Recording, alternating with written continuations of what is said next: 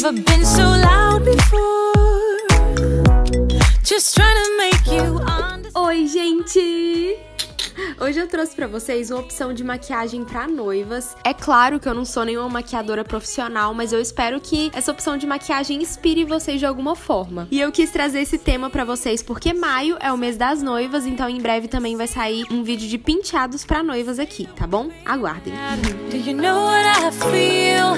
I'm sick of all your lies. Just say you want me. Say you want me. Say you want me. Então isso, sem muito enrolo e vamos lá conferir o passo a passo dessa maquiagem. Eu começo aplicando um primer HD que vai ajudar a deixar a pele mais mate, vai disfarçar os poros. E para essa maquiagem a gente tem que caprichar nesses produtinhos, né, primer, fixador, pra maquiagem realmente durar mais e ficar com um efeito mais bonito e tal. Vou aplicando o primer em todo o meu rosto e espalhando com as mãos mesmo.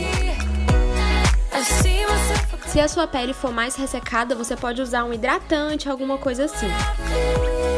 Agora eu já vou aplicando a base. Eu usei essa da Disse Berenice porque ela é mate e como a minha pele é mais oleosa, ela ajuda a deixar o meu rosto mais sequinho, sabe? E ela também é a prova d'água, ela só não tem a cobertura tão alta assim, mas depois a gente vai vir com um corretivo, então eu gosto muito, muito dessa base. Mas aí vai de acordo com a sua pele, né? É um momento muito especial, então a base é realmente a base de tudo. Então você tem que acertar nesse passo. Do you know what I see? I see myself cry Eu fui aplicando mais uma camada da base porque ela é cobertura média, eu queria que ficasse com uma cobertura um pouco mais alta. E agora eu venho com o corretivo, eu usei um corretivo líquido mais clarinho e fui iluminando também, além de corrigir as olheiras, enfim, eu aproveitei para iluminar essa pele. Pra espalhar o corretivo, né, eu usei essa esponjinha em formato de queijinho e eu apliquei um fixador nela, né, tipo uma aguinha termal que ajuda a fixar e fui espalhando todo esse corretivo. I see myself across.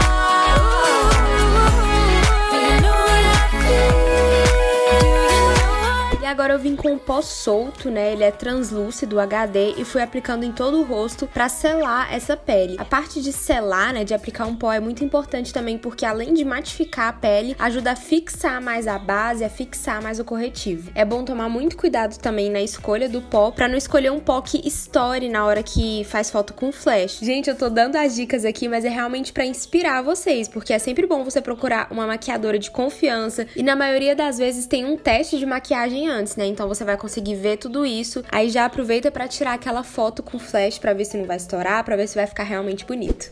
Pra corrigir as sobrancelhas, eu vou borrifar aquele fixador no pincel e vou aplicando a sombra. Essa é uma dica que ajuda muito a fixar a maquiagem e você pode pegar essas dicas aqui desse vídeo pra qualquer outra maquiagem que você for fazer, né? Essa dica da sobrancelha, gente, é mara porque fixa bastante a sombra, não vai correr o risco da sua sobrancelha ir apagando com o tempo, sabe? night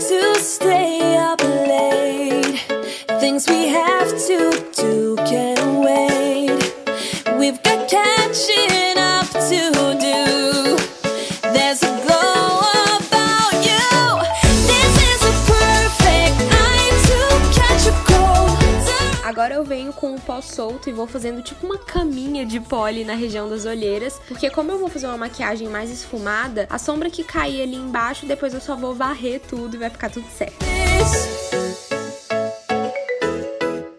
Agora eu vou vir com essa sombra da Duda Fernandes, que é o marrom tem que ter, e eu vou usar ele como a base do esfumado. Pego um pincel de esfumar e vou esfumando essa sombra no côncavo e vou subindo essa sombra para um pouquinho mais perto da sobrancelha. E lembrando que quanto mais perto da sobrancelha, mais leve a mão vai ficando, mais leve vai ficando o esfumado, para realmente criar esse degradê bem bonito. It's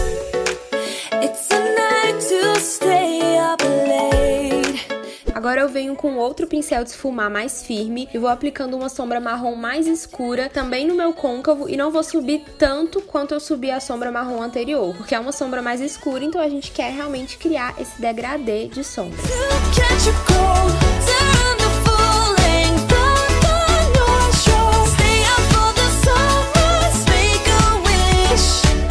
Agora eu vou vir com outro pincel menorzinho, mais preciso, e vou aplicando a sombra preta no cantinho externo do meu olho. Não vou subir muito essa sombra e também não vou puxar ela muito pro canto interno. Ela vai ficar ali mais depositada nessa região mesmo, sabe? Claro que tem que dar uma esfumada pra ficar mais bonito, mas o, o preto ele vai ficar mais discreto.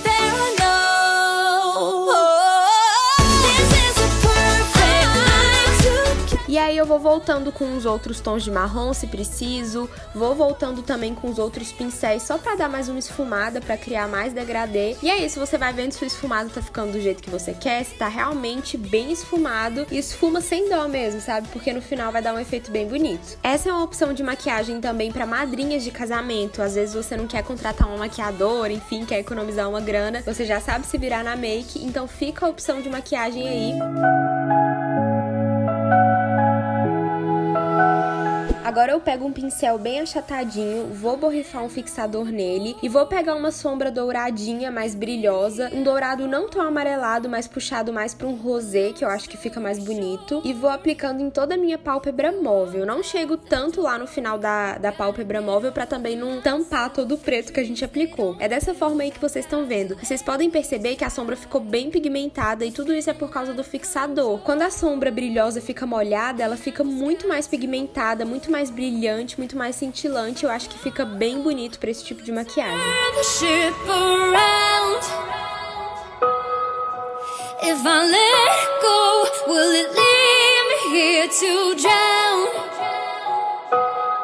Agora eu venho com um delineador em caneta e vou fazendo um delineado de gatinho. Eu acho que o delineado de gatinho dá super certo pra noiva, porque fica bem romântico, dá um efeito bonito no olhar. Só que tem que tomar muito cuidado com o produto que vai escolher, para ser um produto à prova d'água, enfim. Depois eu apliquei os cílios postiços e vim com a máscara pra unir os cílios postiços com os naturais.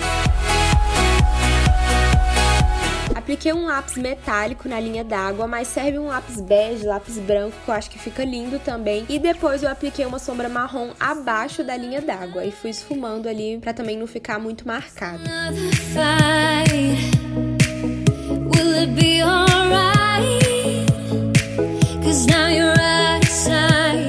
Depois eu fui fazendo o contorno do rosto, né, nas maçãs, na testa, nariz, enfim. E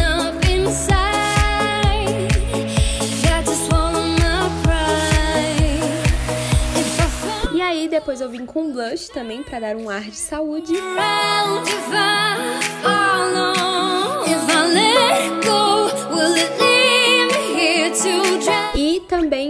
Iluminador. Eu escolhi um tom bem brilhoso, um dourado, assim, bem bonito, porque eu acho que o iluminador faz toda a diferença na maquiagem, ainda mais nessa maquiagem pra noiva, né? Eu acho que vai dar um efeito mais romântico, vai dar um tchan, né, no rosto. Eu amo iluminador. E no cantinho interno do olho, eu fui aplicando esse pigmento, tipo um glitter mesmo, pra dar mais uma iluminada no olhar e também pra deixar a maquiagem mais romântica, mais charmosa.